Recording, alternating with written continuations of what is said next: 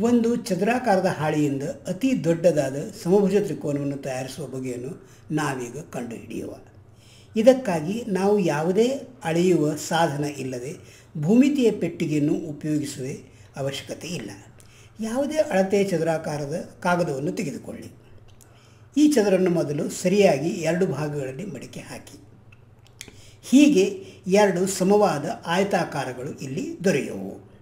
ಇನ್ನೊಮ್ಮೆ ಅರ್ಧದಲ್ಲಿ ಮಡಿಕೆ ಹಾಕಿ ನಾಲ್ಕು ಚದುರುಗಳನ್ನು ಪಡೆಯಿರಿ. ಕಾಗದವನ್ನು ಬಿಚ್ಚಿಡಿ.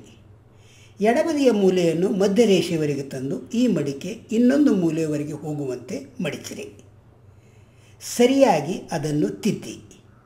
ಇದೇ ರೀತಿ ಎರಡನೇ ಎದುರಿನ ಮೂಲೆಯನ್ನು ಕೂಡ ಮಧ್ಯ ರೇಷೆಯವರೆಗೆ ತಂದು ತುತ್ತ ತುದಿಗೆ ಹೋಗುವ ಮಡಿಕೆ ಹಾಕಿ.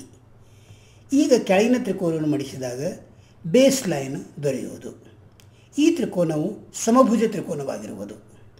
ಹಾಗೂ ಚದುರಾಕಾರದ ದೊಡ್ಡ ಹೊರತೆಗೆದ ಅತಿ ದೊಡ್ಡದಾದ ತ್ರಿಕೋನವಾಗಿರುವುದು.